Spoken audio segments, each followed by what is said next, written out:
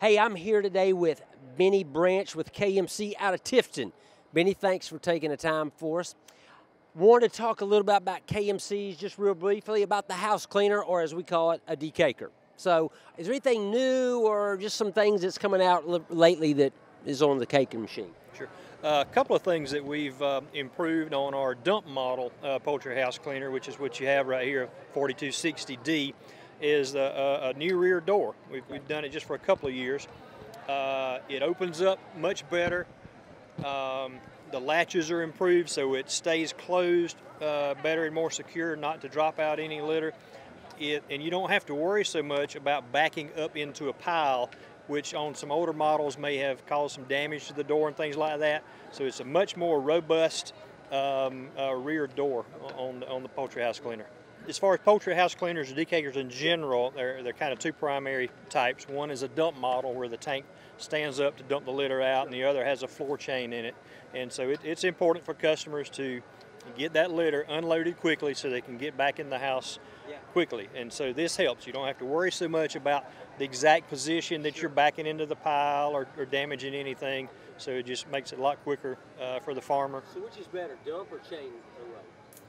Uh, if you want to spread anything, you'll have to have the chain unload. Okay. Uh, but if you're not having to spread anything, a lot of customers uh, like the dump. Okay, okay. Uh, Benny, tell me about the blower. So it looks like you got a new blower here, and give me some give me some things about KMC's blower. Sure. This is our uh, poultry house blower. It's got a, a, lot of different things that's different than some, some of the competitors. Okay.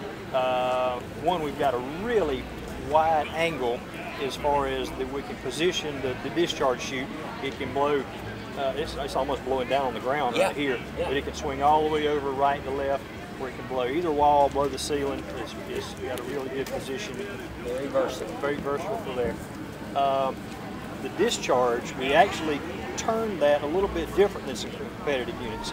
You know, think if, if you're wanting to uh, paint the side of a house, you're going to have your brush like this. Yes. You're not going to angle your brush yeah, like this. Because you go overspray. Simple. We, we, we turned that discharge to do a good job of brushing and, and brushing the wall uh, with coverage. the air to get to get better coverage. Yeah, better so coverage. do that. Excellent. A couple of other unique things. Uh, down here on on the bottom, we've got some skids, which Sure. just sits on the ground. Uh, some applications you don't want those skids dragging through your house. Sure. We've got a little pin to pull just to let Yeah. those skids come up. So you don't have to set this down on top of concrete blocks and things like that. Just when you it off unhook it from your three-point tractor. Yep. Yeah. So it's, it's just quick and easy to, to hook up and to unhook, and then those skids get out of the way when you're operating in the house. Very nice. Well, it seems to me that KMC's kind of focused a little more on versatility. You got more hoses. You got be able to back your doors in, not have to be too particular about how you can adjust this. So that's pretty cool. So Uh, farmers all over the place have their own unique way of the way Sure. they want to do things, Yeah. and so you need to be versatile. Uh, everybody doesn't think the same or Yeah. the same thing. Absolutely. Benny, a lot of these growers now, integrator is making them windrow. They're either having to rent a windrow machine or they're buying one. So if they're going to buy one, what are some things they need to look for? What does KMC got going on? Sure. This is our uh, uh, KMC litter windrower.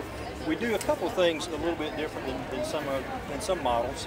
Uh, we've got uh, uh, two augers, and they're they're counter rotating in, the, in that they bring the litter up against the blade and up around the back. They're, they're not throwing it out Sure. toward the front. That helps the machine be uh, a lot more efficient because if you're throwing the litter out the front, then the machine has to handle that litter several times before it can actually uh, do its work to it. It shoots a mess out in front Yep. too, big old cloud. oh, yeah. Anytime you're throwing that towards the operator is not a good, not a good thing to do. Uh, also, it's, it's PTO powered, so we're putting the full power of the tractor back to the implement where it can do the work. You know, uh, some other models may be hydraulically powered, where you're limited there on what the, the horsepower you can get out of that. Uh, on the discharge end here, we do some unique things as it's moving the litter over uh, very quickly. Here we have a, uh, a little rake on the end, and anytime you have a, a clump of litter or something that it doesn't break up with the dual auger Right. system, it'll slam it into that little rake and help uh, pulverize it uh, on the end more. Benny, I know a, a lot of people, when they have to clean out their house, you don't get to the wall, you're going to leave some bacteria in there. You're going to have some litter in there. And a lot of times it gets left in there. So, how does this help? How does your wall cleaner help? Sure. As you mentioned, with a with a large decaker or poultry house cleanout machine, sometimes you can't get all the way up Yeah. to the wall, and uh, you don't want to take a big heavy piece of equipment that could damage the wall Yeah. or things like that. This is a little simple, uh, lightweight tool.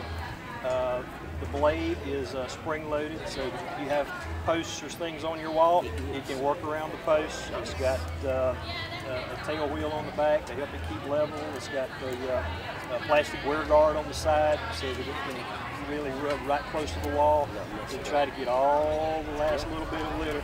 And as you mentioned, bacteria and everything, you want to try to clean out the house good. It just helps clean. All right, Benny, this doesn't seem to be a high dollar piece of equipment when you're talking about the fact that if you leave some bacteria in that house, it can have an impact on the flock. So this looks like is it, uh, it's pretty affordable. Seems like to me it would be. Yes, it should be very affordable and uh, uh, good insurance. as. Yeah, for biosecurity, getting that stuff out. That's excellent. All right. Well, Benny, thank you so much for spending time with us today. And um, that's Benny from KMC. So go look at your local dealer and see if you can take advantage of some of these pieces of equipment. All right, so I'm walking by here at the Sunbelt Ag Expo and I see a very unusual tractor. And Max was kind enough to come out here and talk to me about this and tell me what its specialty is for poultry in particular. So, Max, thank you. Very interesting looking tractor. First thing I noticed is the cab digital pressurization control. Please tell me about this thing.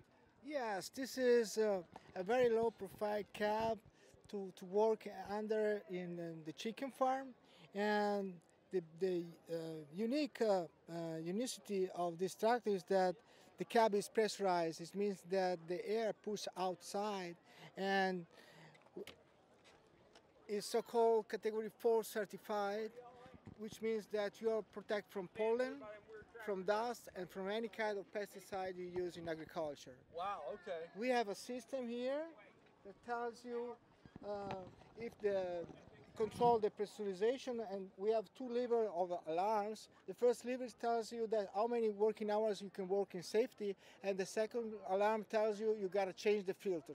That's Okay. to guarantee maximum protection for the operator. So I'm guessing this sits probably about five foot ten or so. Yes, It's 5.9 with these tires. Five nine with the tires. Yes, with these tires. Wow, this is a very unusual. So you've got behind it, if you uh, as you can switch that, you've got a uh, poultry house keeper on it. So that's what indicates right there. It's hey, this is what it's made for. Yes, exactly. This is just a, a um, perfect example of what we, we can do with these tra- low profile cab tractors.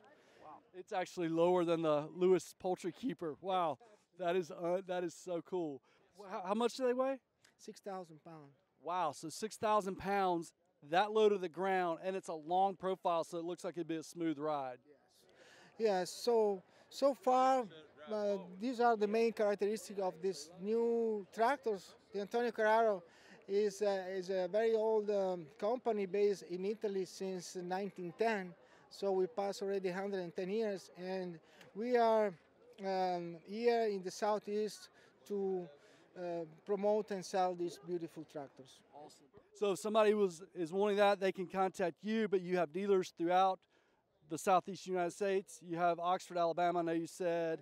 We have uh, Bannister uh, in Oxford, Alabama, and then we have uh, another distributor up in Virginia, and then me that I'm based in Florida. Okay. So we have already four dealers in Florida, and then the other dealers in U.S. are in, more in the West Coast. Well, thank you so much. Very unique but specialized tractor for the poultry industry. Okay, thanks so much. Thank you.